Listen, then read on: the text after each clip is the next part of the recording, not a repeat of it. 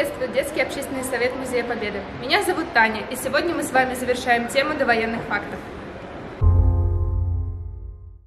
После подписания директивы номер 21, более известной как план Барбаросса, немцы перебросили почти все свои сухопутные войска к Восточному фронту, а также третья авиация и часть флота.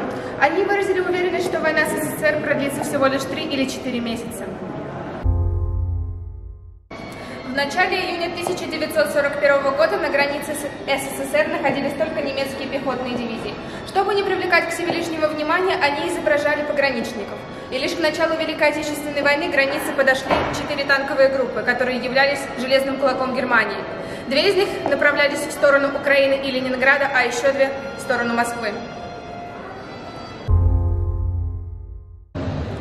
Перед Великой Отечественной войной численность Красной Армии составляла 5 миллионов человек, и она была поделена на три эшелона – от границы до Днепра.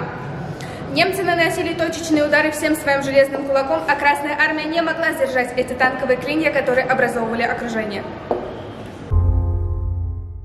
С вами был Детский общественный совет Музея Победы. До встречи в следующих выпусках.